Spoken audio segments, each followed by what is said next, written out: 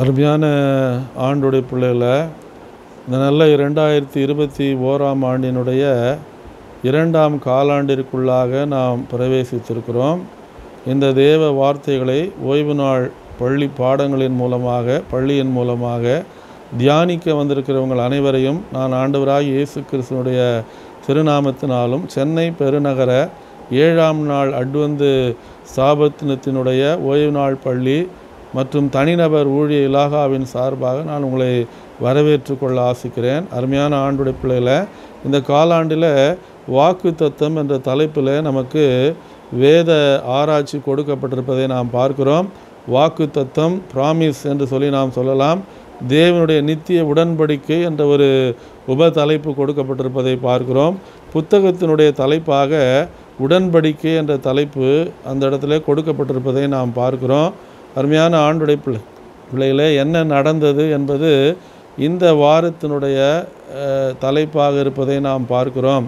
ஒரு காலத்திலே ஆயிரத்தி ஐநூறுகளிலே அருமையான ஆண்டுடைய பிள்ளைகளை இங்கிலாந்து தேசத்தில் நிறைய உள்நாட்டு போர்களும் அது மாத்திரமல்லாமல் கலகங்களும் நடைபெற்று வந்த அந்த காலகட்டத்தில் அந்த இடத்துல ஹாப்ஸ் என்று தாமஸ் ஹாப்ஸ் என்று சொல்லக்கூடிய ஒரு மனிதர் எழும்பி இவைகளையெல்லாம் ஒன்றாக்க வேண்டும். எல்லாரும் ஒரு அரசாட்சிக்கு ஒரு தேவனுடைய கட்டளைகளுக்கு உட்பட்டால்தான் அவர்கள் ஒரே இடத்துல இருக்க முடியும். ஒரே விதமான ஆட்சி இருக்க வேண்டும். அப்படி இருந்தால்தான் கட்டளைகள் இருந்தால்தான் அதை உடன்படிக்கையாக ஜனங்கள் ஏற்றுக்கொண்டால்தான் தேசத்தில் சமாதானம் கிடைக்கும் என்று சொல்லி ஒரு அக்ரிமெண்ட் ஒன்று இல்லை என்றால் காவனன்ட் என்று சொல்லி ஆங்கிலத்திலே சொல்லலாம். அதை அவர் என்ன செய்கிறார் என்றால் இங்கிலாந்து தேசத்திலே ஒரு ஆட்சி முறையை அவர்கள் அமல்படுத்தி அந்த சட்ட திட்டங்களுக்கு உடன்படிக்கைக்கு எல்லாரும் கீழ்ப்படிந்திருந்தால்தான் தேசம் நன்றாக இருக்கும் என்று சொல்லக்கூடிய ஒரு காரியத்தை அவர் சொன்னதை நாம் பார்க்கிறோம். அதை அப்படியே ஜனங்களும் ராஜாக்களும் பின்பற்றினதை நாம் பார்க்கிறோம். அருமையான ஆண்டுடைய பிள்ளையில் பரலோகத்தினுடைய இறைவனும் கூட ராஜாவும் கூட நம்மோடு கூட ஒரு உடன்படிக்கையை செய்திருப்பதை நாம் பார்க்கிறோம். அது என்னவென்றால் ஆண்டவராக இயேசு கிறிஸ்துவை தம்முடைய திருக்குமாரனை இந்த உலகத்திற்கு அனுப்பி அவரை நமக்காக மறிக்க செய்து கல்வாரி சிலுமையின் மேல் நம்பிக்கை வைக்கிற ஆண்டுடைய பிள்ளைகள் இருக்கிறார்களே அவர்களை ரட்சிக்கத்தக்கதாக தேவனும் நம்மோடு கூட ஒரு உடன்படிக்கை செய்திருப்பதை நாம் பார்க்கிறோம். இந்த காலாண்டினுடைய பாடத்தை முனைவர் ஜெரார்ட் எஃப். ஹேசல் என்று சொல்லக்கூடிய ஒரு வேத ஞானி எழுதியிருப்பதை நாம் பார்க்கிறோம். செவன்த் அட்வென்டிஸ்ட் பைபிள் ஸ்காலர் அவர். ஆண்ட்ரூஸ் பல்கலைக்கழகத்தில் அமெரிக்க தேசத்தில் அவர் அந்த துறையில் பேராசிரியராக இருந்ததை நாம் பார்க்கிறோம். ஆனப்படினாலே இவ்வ இந்த காலானுடைய ஆராய்ச்சி இருக்கிறது. அது மிகவும் நேர்த்தியானதாக இருக்கும் என்று சொல்லி நாம் நம்பலாம். இந்த வார பாடத்திற்குள்ளாக நாம் கடந்து செல்வதற்கு முன்பாக கண்களை மூடி கர்த்தரை நோக்கி நாம் பிரார்த்தனை செய்து பாடத்திற்குள்ளாக நாம் கடந்து செல்லலாம். மகா உன்னதங்களில் வீற்றிருந்து பூமியின் மனுபுத்தர் ஆகி எங்கள் மேல் கண்ணோக்கமாக இருக்கிற எங்கள் நல்ல ஆண்டவரை இந்த நல்ல பரிசுத்த நாளின் காலை வேளையில் நம்முடைய வார்த்தைகளை நாங்கள் தியானிக்கத்தக்கதாக ஓய்வு நாள் பள்ளியின் மூலமாக தியானிக்கத்தக்கதாக நீர் எங்களுக்கு கொடுக்கிற அந்த பெரிய ஸ்லாக்கியத்திற்காக நாங்கள் நன்றி செலுத்துகிறோம் சுவாமி. இந்த பாடங்களை ஆராய்ச்சி செய்து பார்க்கிற வேளையில் ஆண்டவரே இந்த காலாண்டு முழுவதும் பரிசுத்தாவின் ஒத்தாசையும் வழிநடத்தும் கரமும் எங்களோடு தங்கி இருக்க வேண்டுமாய் செபிக்கிறோம். தேவனுடைய நித்திய உடன்படிக்கை என்ற தலைப்பு கொடுக்கப்பட்டிருப்பதை பார்க்கிறோம் ஆண்டவரே. வாக்கு தத்தங்கள் என்ற தலைப்பு கொடுக்கப்பட்டிருப்பதை பார்க்கிறோம். அவளை நாங்கள் இணைத்து தேவனுடைய திட்டம் என்ன என்பதை எங்களுடைய வாழ்க்கையில் விளங்கி கொள்ளத்தக்கத நீர் எங்களுக்கு அனுக்கிரகம் செய்ய வேண்டுமாய் ஜெபிக்கிறோம் ஆசீர்வதித்து தார்ந்த தியான வேலையை இயேசுவின் இன்ப நாமத்தில் வேண்டுகிறோம். அன்புள்ள பிதாவே அமேன் அருமையான ஆண்டுடைய பிள்ளைகளை என்ன நடந்தது என்பது இந்த வாரத்தினுடைய தலைப்பு என்று நாம் பார்க்கிறோம். காலாண்டின் தலைப்பு வாக்குத்தத்தம். புத்தகத்தின் தலைப்பு உடன்படிக்கை தேவனுடைய நித்திய உடன்படிக்கை எப்படிப்பட்டது என்பதை குறித்து தான் இந்த காலாண்டு முழுவதிலும் நாம் தியானித்து பார்க்க இருக்கிறோம். அருமையான ஆண்டுடைய பிள்ளைகளை இந்த வாரத்தினுடைய தலைப்பாக நமக்கு என்ன நடந்தது என்று கொடுக்கப்பட்டிருக்கிறது. மனப்பாட வசனமாக ஆதியாகமம் முதல் அதிகாரத்தில் இருபத்தி ஆறு இருபத்தி ஏழு வசனங்கள் நமக்கு கொடுக்கப்பட்டிருப்பதை நாம் பார்க்கிறோம். பின்பு தேவன் நமது சாயலாகவும் நமது ரூபத்தின்படியையும் மனுஷனை உண்டாக்குவோமாக என்றார். தேவன் தம்முடைய சாயலாக மனுஷனை சிருஷ்டித்தார். அவனை தேவ சாயலாகவே சிருஷ்டித்தார். ஆணும் பெண்ணுமாக அவர்களை சிருஷ்டித்தார் என்று ஆதியாகமம் ஒன்று இருபத்தாறு இருபத்தேழில் சொல்லப்பட்டிருப்பதை நாம் பார்க்கிறோம். நன்றாக போய் கொண்டிருந்த அந்த சிருஷ்டிப்பின் காரியம் ஆதாமும் ஏவாளும் ஏதேன் தோட்டத்தில் இருந்த அந்த காரியம். அருமையான ஆண்டுடைய பிள்ளைகளை மிக நேர்த்தியாக தேவன் ஒவ்வொரு நாளின் முடிவிலும் சிருஷ்டிப்பினுடைய முடிவிலும் நல்லது என்று தேவன் கண்டார் என்று சொல்லப்பட்டிருக்கக்கூடிய காரியம் இருக்கிறது. ஆனால் அதை அதை மீறி எப்படி பாவம் பிரவேசித்தது அந்த இடத்துல என்பதை குறித்து தான் இன்றைக்கு நமக்கு பாடமாக கொடுக்கப்பட்டிருப்பதை நாம் பார்க்கிறோம். ஆராய்ச்சிக்காக சங்கீதம் நூறில் மூன்றாம் வசனம் அப்போ சிலர்கள் பதினேழில் இருபத்தி ஆறாம் வசனம் ஆதியாமம் ரெண்டாம் அதிகாரம் முழுவதும் முதல் அதிகாரத்தின் சில வசன வசனங்களும் ஆதியாகமம் மூன்று பதினைந்தில் சொல்லப்பட்ட வாக்கு தத்துவமும் இன்றைக்கு நமக்கு பாடமாக கொடுக்கப்பட்டிருப்பதை நாம் பார்க்கிறோம். அருமையான ஆண்டுடைய பிள்ளைகளை தேவன் மனிதனை தனது சாயலாக சிருஷ்டித்ததை நாம் பார்க்கிறோம். மனிதன் ஒரு விசேஷமான படைப்பு என்று சொல்லி நாம் அறிந்திருக்கிறோம். மற்ற எந்த படைப்புகளுக்கும் யோசிக்கக்கூடிய திராணி கிடையாது. நன்மை தீமை என்ன என்று பகுத்தறியத்தக்க திராணி அவைகளுக்கு கிடையாது. ஆனால் மனிதனுக்கு மாத்திரம் இறைவன் ஆறாவது அறிவு என்ற ஒன்றை கொடுத்து மனிதன் தன்னை போல இருக்க வேண்டும் என்று அவர் ஆசைப்பட்டு தனது சாயலிலே மனிதனை அவர் என்ன செய்தார்? உருவாக்கினதை நாம் பார்க்கிறோம். இந்த சிருஷ்டிப்பில் அருமையான ஆண்டுடைய பிள்ளையில் இறைவன் ஏதேன் தோட்டத்தில் ஆதாமையும் ஏவாளையும் முதல் மனிதர்களாக உருவாக்கி வைத்திருந்த அந்த வேளையில் தேவன் என்ன செய்கிறார் என்றால் தேவன் தான் இருப்பதாகவும் தான் சிருஷ்டித்ததாகவும் அவர் நிரூபிக்க ஓரிடத்திலும் வேகத்திலே அவர் ஆசைப்படவில்லை என்று நாம் பார்க்கிறோம். தேவன் தனது எக்ஸிஸ்டன்ஸ் ஆஃப் த காட் என்று சொல்லி நாம் சொல் நாம் சொல்லலாம். தேவன் தான் இருக்கிறேன் என்பதை நிரூபிக்க வேதத்தில் ஒருபொழுதும் அவர் ஆசைப்பட்டதாக இல்லை. ஆனால் அதற்கு பதிலாக அருமையான ஆண்டுடைய பிள்ளைகளை அவர் விசுவாசிப்பதற்கான அழைப்பை ஆதியாகவும் முதல் அதிகாரம் முதல் வசனத்திலேயே அவர் கொடுப்பதை நாம் பார்க்கிறோம். அப்படித்தானே? ஆதியாகம் ஒன்று ஒன்று என்ன சொல்லுகிறது என்றால் ஆ- ஆதியிலே தேவன் வானத்தையும் பூமியும் சிருஷ்டித்தார் என்று சொல்லத்தக்கதாக.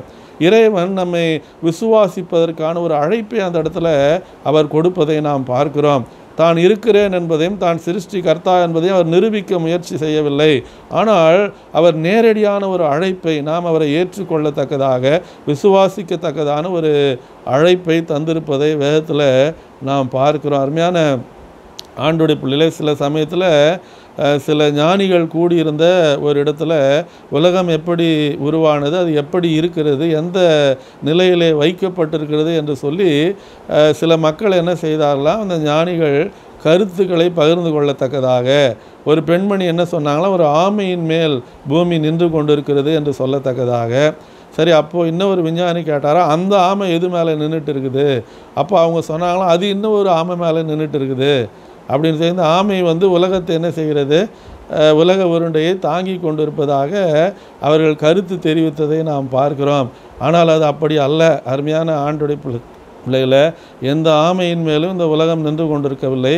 ஆனால் தேவனாகிய கர்த்தர் வானத்தையும் பூமியும் சிருஷ்டித்தார் என்று தேவனுடைய வார்த்தை சொல்லத்தக்கதாக.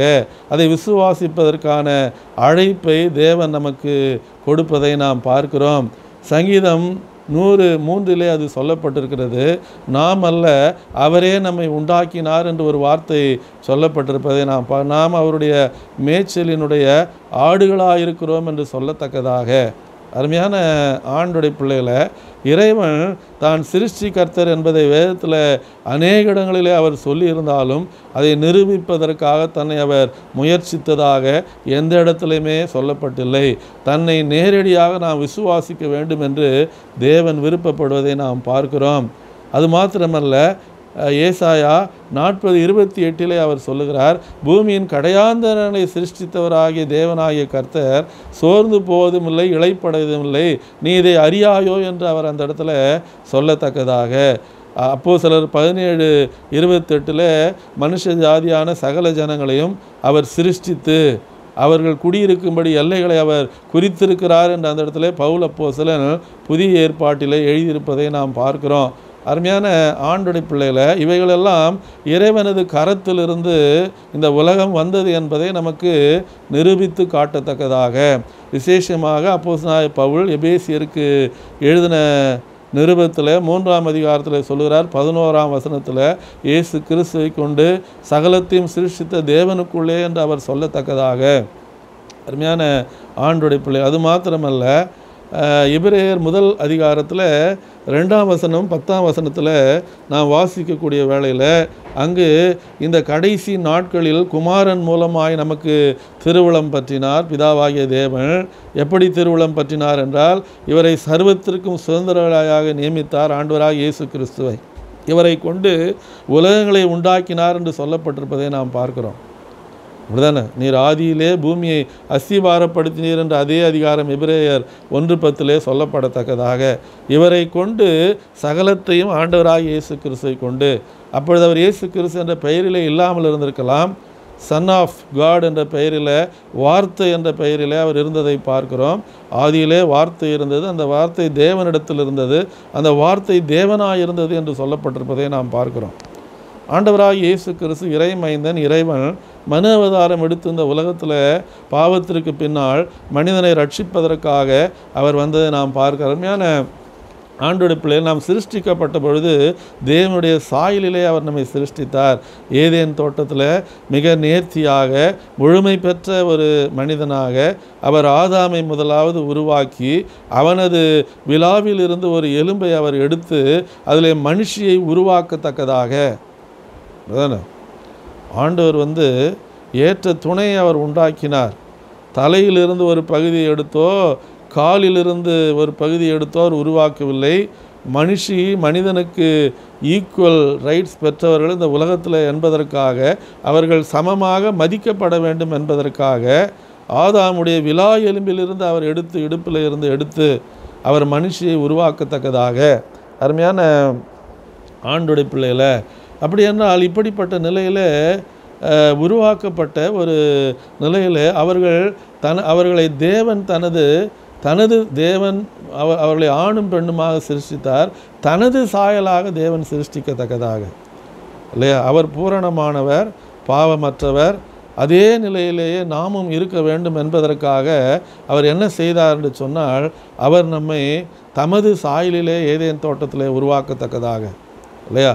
உருவாக்கி அவர் என்ன செய்தார் என்றால் மனிதன்தான் விசேஷித்த படைப்பு சகலத்தையும் ஆண்டு கொள்வதற்காக அவனுக்கு என்ன செய்தார்? அதிகாரத்தை கொடுக்கத்தக்கதாக அவர் சொல்லுகிறார்.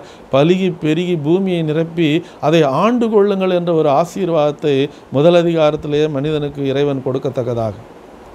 இல்லையா? பாவம் பிரவேசிப்பதற்கு முன்பாக ஆளுகை மனிதனுக்கு கொடுக்கப்பட்டிருந்ததை நாம் பார்க்கிறோம். அப்படிதானே? இன்றைக்கும் கூட அதே நேச்சரோட தான் மனிதன் இருக்கிறான். ஒருத்தரை ஒருத்தர் ஆளுகை செய்ய வேண்டும் என்று சொல்லக்கூடிய ஒரு சுபாவம். இயல்பிலேயே தேவன் கொடுத்த ஒரு சுபாவம். ஆனால் ஒருவரை ஒருவர் ஆளச் சொல்லவில்லை அவர். மற்றவைகள் எல்லாவற்றையும் மனிதனை தவிர மற்றவைகள் எல்லாவற்றையும் ஆடு மாடுகள் மிருகங்கள் இன்னுமாக பறவைகள் கடலிலே இருக்கக்கூடிய ஜீவன்கள் அனைவற்றையும் ஆழ்வதற்கான ஒரு தகுதியை அவர் கொடுத்து அது மாத்திரமல்ல நன்மை தீமை அறியத்தக்க விருட்சத்தின் கனியும் ஜீவ விருட்சத்தின் கனியும் மற்ற விருட்சங்களையும் அவர் சிருஷ்டிக்கத்தக்கதாக ஏதேன் தோட்டத்தில் அருமையான ஆண்டோடைய பிள்ளைகளை அவர்கள் அவருக்கு கீழ்ப்படிய வேண்டும் என்பதற்காக ஒரு சிறிய சோதனையாக அந்த இடத்துல இந்த நன்மை தீமை அறியத்தக்க விருட்சம் வந்து வைக்கப்படுவதை பார்க்கிறோம். அந்த மரம் வைக்கப்படுகிறது. அதை மட்டும் நீ புசிக்காத மற்ற எல்லாத்தையும் நீ புசிக்கலான்னு ஆண்டவர் சொல்கிறார் ஆண்டவர் எதற்காக அப்படி சொன்னார்னு சொன்னால் மனிதனை ஏதோ வேதனைப்படுத்தி சோதிக்க வேண்டும் என்பதல்ல. கீழ்ப்படிதலை அவர் எதிர்பார்க்கத்தக்கதாக மனிதனிடத்தில் இருந்த அருமையான ஆண்டோடைய பிள்ளைகளை. அது ஒரு இலகுவான காரியம். நம்மை போல சாப்பாட்டுக்கு கஷ்டப்படக்கூடிய ஒரு நிலையில் ஆதாமியவாள் இல்லை. இட்டர்னல் பிளிஸ் உள்ளாக அவர்கள் இருந்தார்கள் என்று சொல்லலாம் நித்திய அவர்கள் முக்தி அடைந்த ஒரு நிலையிலே ஏதேன் தோட்டத்தில் இருந்திருக்க வேண்டும் பாவத்திற்கு முன்பாக. நம்மை போல கோர பசிகள் எல்லாம் அவர்களுக்கு இருந்திருக்காது. அப்படியே பசி எடுத்திருந்தாலும் எத்தனையோ விதமான கனிகள் விருட்சங்கள் எல்லாம் இரு- இருந்தது அங்கு. அவைகள் அவைகள் அவர்கள் அவைகளை புசித்திருக்கலாம். அப்படிதானே? நம்மை போல கஷ்டப்பட்ட ஒரு நிலையில் அவங்க இல்லை அந்த இடத்துல. அவங்க நன்றாக தேவன் அவர்களை வைத்திருந்தார். நம்முடைய ஆதி பெற்றோரை அருமையான ஆண்டுடைய பிள்ளைகளை ஆனால் அவர்கள் விருப்பப்பட்டு அவள் என்ன செய்தார்கள்? ஏவாள் அந்த பழத்தினை புசித்து தான் புசித்ததுமன்றி தன் கணவனுக்கும் கொடுக்கத்தக்கதாக. இப்படியாக தேவ வார்த்தைகளை சந்தேகப்பட்டு மீறினபடினாலே அவநம்பிக்கை ஏற்பட்டு லூசிஃபருடைய வார்த்தைகளுக்கு செவி கொடுத்து இல்லையா? அவன் சொன்னான் நீங்கள் தேவர்களைப் போலாவீர்கள் கண்ணுலாம் திறந்துடும் உங்களுக்கு. இறைவனது வார்த்தையை நம்புவதற்கு பதிலாக ஒரு புதிய ஏதோ வெளியே இருந்து வந்த ஒரு சக்தி சொன்னதையே அவர்கள் நம்பத்தக்கதாக அந்த இடத்துல. இல்லையா? வெளியிலிருந்து வந்த ஒரு ஒரு தீய சக்தி சொல்கிறது நீ புசி என்று சொல்லி இறைவன் சொன்னால் நீ புசிக்க வேண்டாம் என்று சொல்லியிருந்தார் அதை. ஆனால் அவர்கள் அவர் அதை அந்த கீழ்ப்படிதலை எதிர்பார்த்தாள் இடத்துல ஆனால் அவள் என்ன செய்தாள்? மீறினவளாக எனக்கு அருமையான அவள் வஞ்சிக்கப்பட்டாள் என்று தேவனுடைய வசனம் சொல்வதை நம்மால் பார்க்க முடிகிறது. அப்படிதானே வஞ்சிக்கப்படுறாங்க. ஏடம் ஈ வாஸ் டிசீவ்டு என்று சொல்லப்பட்டிருப்பதை பார்க்கிறோம். பட் ஏடம் சிண்டு விரும்பி விருப்பப்பட்டு மனைவிக்காக மனைவி மறித்து போயிடுவாங்களேன்னு சொல்லி நான் மட்டும் இருந்தால் என்ன பண்ண போகிறேன் அப்படின்னு நினச்சி அவர் சாப்பிட்டாரோ என்னமோ தெரில அந்த அம்மா கையிலேருந்து பழத்தை வாங்கி. இல்லையா? அப்போவே கணவன் மனைவி உறவு அவ்வளோ ஸ்ட்ராங்காக இருந்திருக்குது அந்த காலத்துலேயே. அப்போது இந்த உறவு என்ன? இறைவனோடு உள்ள உறவு அவங்களுக்குள்ளாக உறவு ஸ்ட்ராங்காக இருந்தது. பாவம் செஞ்சாங்க. ஆனால் இறைவனோடு உள்ள உறவு என்ன பண்ணப்படுகிறது? அந்த இடத்துல பாதிக்கப்பட்டு அவள் என்ன செய்யப்படுகிறாள்னு சொன்னால் அருமையான பெரிய ஒரு நெருக்கடி ஏதேன் தோட்டத்தில் அவளுக்கு உருவாகத்தக்கதாக. இல்லையா? எல்லாம் நல்லா போயிட்டு இருந்தது அது. அதான் என்ன நடந்தது என்ற தலைப்பு இந்த வாரத்தில் கொடுக்கப்பட்டிருப்பதை நாம் பார்க்கிறோம் அருமையான ஆண்டுடைய பிள்ளைகள். இல்லையா? நல்லா வச்சிருந்தார் ஆண்டவர். நல்லா பாதுகாத்து வைத்திருந்தார். எல்லாத்தையும் கொடுத்தாரு. அவங்களுக்கு பாவமே இல்லை. மரணத்தின் சாயலோ பாவத்தின் சாயலோ சுவடுகளோ ஏதேன் தோட்டத்தில் இல்லை. அந்த பிளிஸில் சந்தோஷமாக இருந்திருக்கலாம் அவங்க. இதுதானே ஆனால் தேவ கட்டளையை மீறி தேவனோடு உள்ள உறவை அவர்கள் முறித்து கொள்ளத்தக்கதாக. ஆண்டவர் வந்து கேட்குறார் ஆதாமே நீ எங்கே இருக்கிறா? என்று சொ கேட்கிறார். எங்கே இருக்கிறான்னு எதுக்காக கேட்டார்னா ஆதாம் எங்கே இருக்காருன்னு தெரியாமல் அவர் கேட்கல. இதுதான் அவருக்கு தெரியும். ஒழிச்சிட்டு இருக்கிறான். அவன் மேல் மூடியிருந்த தேவ மகிமை அவனை விட்டு விலகிற்று பாவம் செய்தபடினாலே அவைகள்தான் ஆடையாக உடுத்துவிக்கப்பட்டிருந்த தேவ மகிமை. அதுதான் பவுல் சொல்கிறார் எல்லோரும் பாவம் செய்து தேவ மகிமையற்றவர்களாகி என்று சொல்லத்தக்கதாக. இல்லையா? அப்போது ஆண்டவர் அங்கு ஒரு வாக்கு தத்துவத்தை மனிதனுக்கு கொடுக்கிறார். பாவம் எப்படி அகற்றப்படும் என்றால் இந்த உலகத்தில் இருந்து உனக்கும் சிரிக்கும் உன் வித்துக்கும் அவள் வித்துக்கும் பகையை உண்டாக்குவேன். அவர் உன் தலையை நசுக்குவார். கல்வாரி சிலுவையில் மறிக்க போகிற ஒரு ரட்சகர் இருக்கிறாரே. தனது ஜீவனை மனிதனுக்காக கொடுப்பதின் மூலமாக கல்வாரி சிலுவையில் சத்துருவினுடைய தலை நசுக்கப்படும் என்று ஒரு தீர்க்க தரிசனமானது ஆதியாகமம் மூன்று பதினைந்திலே முன்னுரைக்கத்தக்கதாக ஏதேன் தோட்டத்தில் அவர்கள் பாவம் செய்த நிலையில் அருமையான ஆண்டுடைய பிள்ளைகளை. அப்படிதானே ஆண்டவர் வந்து அவங்களுக்கு ஒரு ரெண்டாவது வாய்ப்பு கொடுக்குறார்.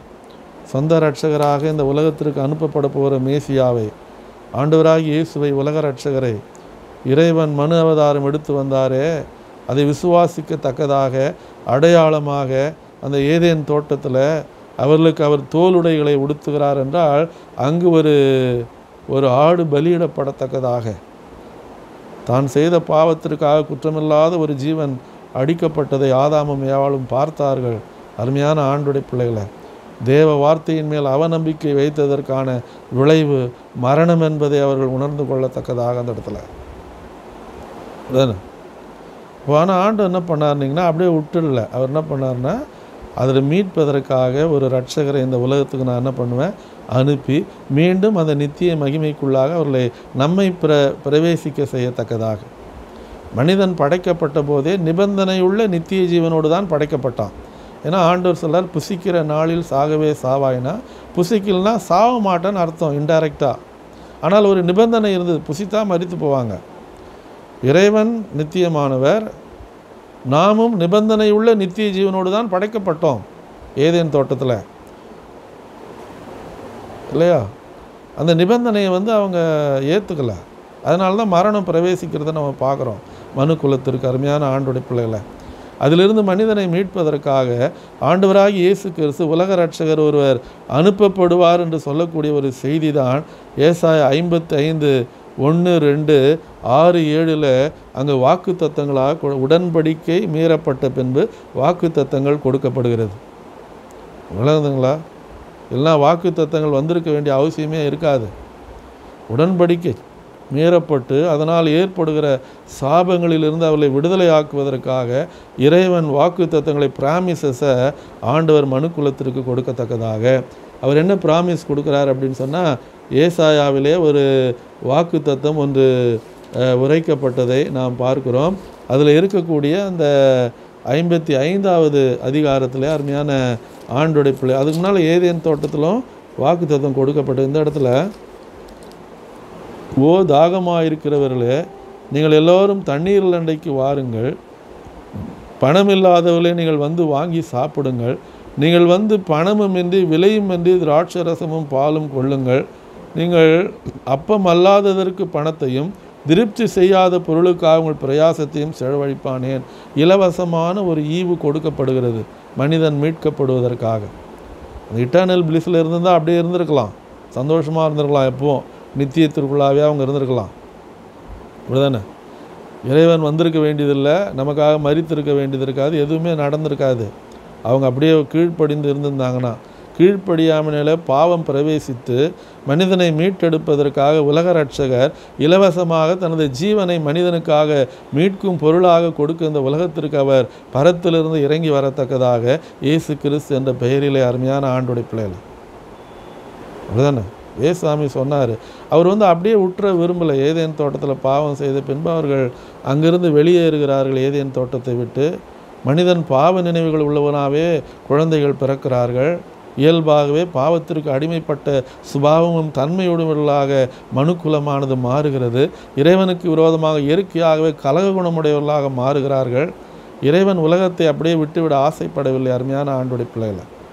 மனுக்குலத்தை மீட்டெடுப்பதற்காக தனது சொந்த குமாரனை இந்த உலகத்திற்கு அவர் அனுப்பத்தக்கதாக இலவசமான ஈவாக கிருபையினாலே நாம் ரட்சிக்கப்படத்தக்கதாக. கற்பனை அப்படியே தான் இருக்கும். ஆதாமும் ஏவாள் இச்சி இச்சிக்கப்படத்தக்க விருட்சம் என்று அதை பார்த்தாள். இச்சை தான் முதல் பாவம் உருவாச்சு. இல்லையா? இச்சியாதிருப்பா என்று பத்தாவது கற்பனை சொல்லுது. கற்பனை அப்படியே தான் இருக்கும். கற்பனையை மீறின பாவத்திற்காக பாவத்தின் சாபத்திலிருந்தும் ஆக்கினையிலிருந்து நம்மை விடுதலை ஆக்குவதற்காக இறைமைந்தன் இந்த உலகத்தில் அனுப்பப்பட்டு கல்வாரி சிலுவையிலே மறிக்கத்தக்கதாக. அருமையான ஆண்டுடைய பிள்ளைகள். இல்லையா? அது அப்படியே தான் அதை அட்ஜஸ்ட் பண்ணிட்டு இருந்தால் இறைவன் வந்திருக்க மாட்டார். மன அவதாரம் எடுத்து. இயேசு கிறிஸ்து என்ற பெயரில் இல்லையா? உலக ரட்சகர் வந்திருக்க மாட்டார். அவர் வந்ததற்கு அனுப்பப்பட்டது வந்ததற்கு காரணம்னா பிரமாணம் அப்படியே தான் இருக்கும். அது மீறின குற்றத்திற்காக ரெண்டாவதாக ஒரு காரியத்தை செய்கிறார் இறைவன். ஃபஸ்ட்டு பேஸ் போட்டது அப்படியே தான் இருக்கும் அது. மீறினதுக்காக சரி அது அப்படியே தான் இருக்குமே அப்போ இதுக்கு என்ன செய்கிறது மீறின பாவத்துக்குன்னா பரிபூரணமான ஒரு பலி செலுத்தப்பட வேண்டும் என்பது இறை நோக்கம் பரலோக விதிகளிலே அது ஒன்று. மனிதன் குற்றம் உள்ளவனாக இருந்தபடினாலே மனிதனால் அந்த பலியை செலுத்த முடியவில்லை.